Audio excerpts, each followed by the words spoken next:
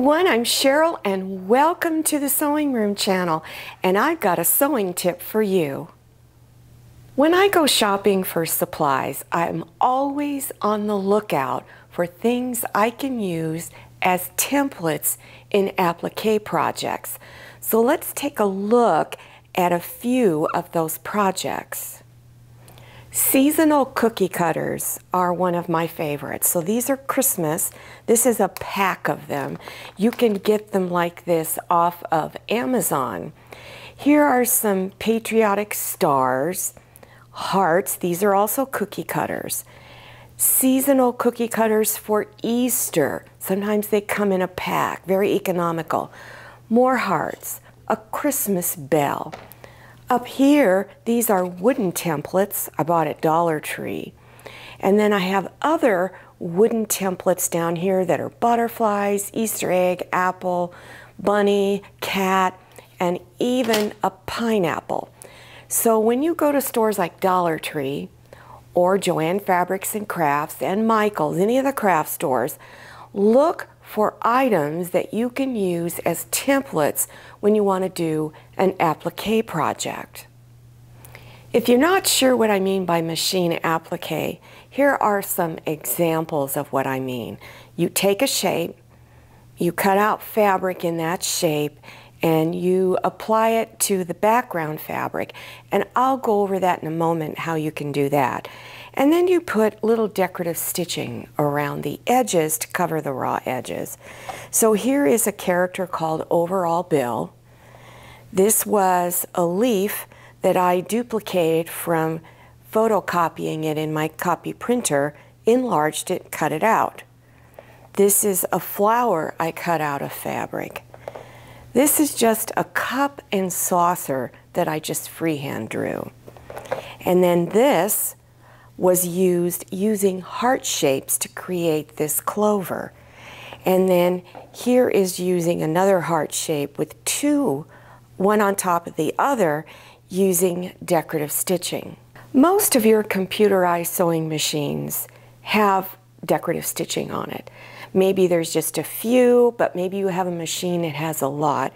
I have a lot on my machines and I use a lot of them all the time. So look in your user's manual and look up what those applique stitches are in your machine if you're not sure which ones they are. Here is an example of a satin stitch. On one of my machines, I have these three. They're already preset in there.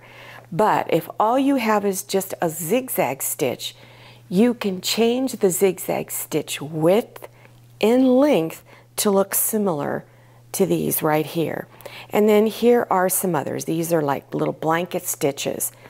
Then of course, you have the zigzag stitch that I talked about. You can tighten it up, make it wider, and then this is what it originally looked like, and then I moved it out to this. My favorite method for doing machine applique is to use this Pellon product called Light Easy Steam 2 and it's double-sided fusible webbing. So you have these sheets in there that are about 9 by 12 inches with blue grid lines on it. On the back, this is the back of the package, are detailed instructions on how to do this. Now, I'm not going to go into a lot of detail on this, but I have many tutorials on machine applique. So you want to just scroll down below your YouTube screen, go to the description section, click on show more or the down arrow, and you will see video links appearing. So this is my fusible web. There's two sheets of paper and in between the two sheets of paper is a thin layer of glue.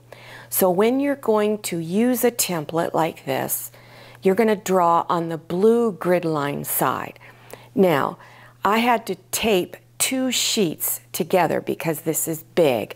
So I taped it on the back side where there is uh, no lines on it. And then traced around it with a pencil. After you've traced around your template, you're going to go out about a quarter of an inch and cut around your design. After you've got it cut out, remember I'm not showing a lot of detail, You're going to remove the paper off the back and just be careful you're not lifting the glue off with that paper. Then you take this blue grid line side, put it on the back of your fabric and finger press it all the way, all over, real good. Then with scissors, go ahead and cut on your drawn lines. Remember, if you want a lot of detail on how to do this, check for the link below your YouTube screen. So then after you've gotten it on your fabric, then you're going to remove the blue grid line paper, place it on your background fabric, this cream colored, and then use a hot iron with steam to fuse it on. So this is what mine looked like when, I'm when I was done.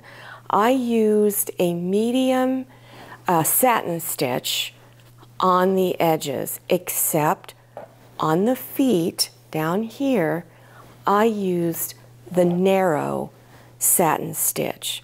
But when I was done, it, it just didn't look complete to me. So on this part right here, this is called the wattle. I had to look it up because I was going to call it the thing. Well, nobody knows what that means, so it's wattle, W-A-T-T-L-E. I filled it in with several rows of satin stitch so that it would look solid. On my machine, I have a decorative stitching that creates a little chain of circles. So I just used one and then stopped stitching. So that's for the eye. When it was done, it still, I felt something was missing, and that was a wing. So if you're interested later in the, in the tutorial, I will go over some tips on how to draw this wing. The previous method is just one way you can use this turkey template to create a design. That's a very basic design. Now I'm going to show you how you can take this same template and divide it up into sections.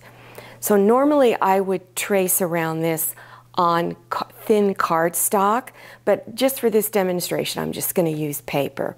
So place your template on there and trace around it. Now, I want the feathers back here to be a different color, the body to be another color. The little wattle here will be another color, and the feet will be another color.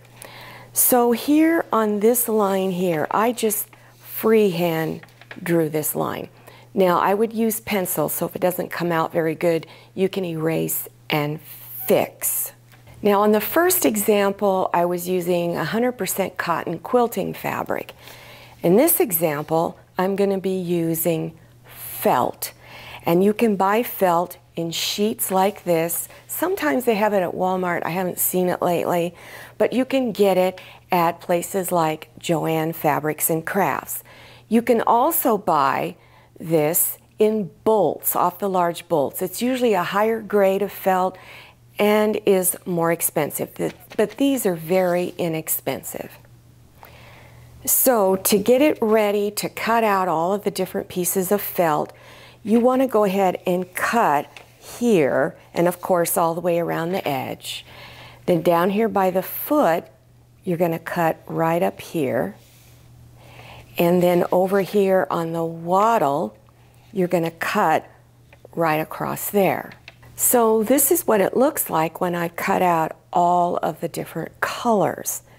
Now, how are you going to stitch this down? Usually when you cut, do felt artwork, you usually attach it to other felt, background felt. So it won't fit on these little squares here. So if you're going to put it on felt that's going to be the background, you need to buy the felt off of the bolt. But the decorative stitching you can use, you can do a straight stitch around all of the edges, close to the edge, on all of the pieces. Let me show you a sample. This is my first felt project I ever did, and I do have a tutorial on it. But look at how close the stitching is to the edge. Now you can use the same color or a different color. It's really up to you. If you enjoy doing hand embroidery, this is a perfect project for you. You can use those stitches that you know and be able to apply it to that design. So I don't do a lot of embroidery, I'm not that great at it, but this is a sample. You could do a blanket stitch around the edges and then to create uh, the veins in a leaf, I just did a back stitch on all of these. There are many ways that you could adhere it to your background fabric. And often people will do, which is my favorite way, is just turn it over on the back and just squeeze out little balls of glue here and there to hold your pieces in place. Then let it dry and then do whatever stitching you desire. I use these templates by June Taylor and they're a variety of sizes of circles. I've been using them for probably 25 years and I just love them. So I'm going to use the 3 inch circle and the 1 inch circle. What I like about these circle templates is there are lines going through it to show it where the center is. So I drew a half circle to start. Then place the 5 inch line at the very top of the half circle. Draw a line from the edge of the half circle down to the number 2 and then over here draw a line down all the way to 0 here. Then to draw this line you're going to make it the same length starting up here and drawing to number 2 and then come over here and starting at number 2 and drawing down to number 3. Then take your one inch circle, place it up here and trace just halfway. And then over here, the same thing. And then I placed this one right about in the middle here, drew a half circle and a straight line down. And there you have your template. So I placed it right about here, and then I took a fabric marking pin and drew around it. And the reason why I recommend a fabric marking pin is it's easy to remove it. This one requires water, so I would just spray a little water on it if I didn't like the blue lines I drew. And there's also ones that are heat sensitive. The moment you hit it with a hot iron, it disappears. Here's one more suggestion. These were little kits. Remember, they're only a dollar and a quarter. They're felt and I thought these are perfect. You could use these shapes that are already here and it's very stiff so it would be easy to trace around it. And you can use it for quilting fabric if you want to trace around that. It comes with the little face features and I thought that these are perfect for applique projects.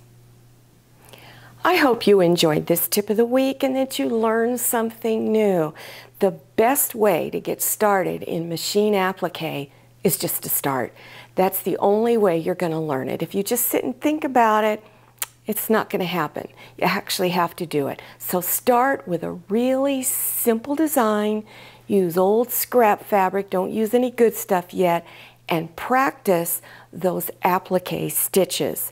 Now, don't forget to follow me on Instagram and check out my Facebook page. And, and a reminder, check below your YouTube screen for those video links. Thank you so much for watching. I'll see you next time and happy sewing. If you like the Sewing Room channel, one of the best ways to show your support is to subscribe by clicking on that red subscribe button and give this video a thumbs up. And don't forget to click on share to share this video with your friends. And make sure you click on the bell so you receive notifications for all my new videos. I'm Sherrill, this is Manny, and this is Scotty. See you next time.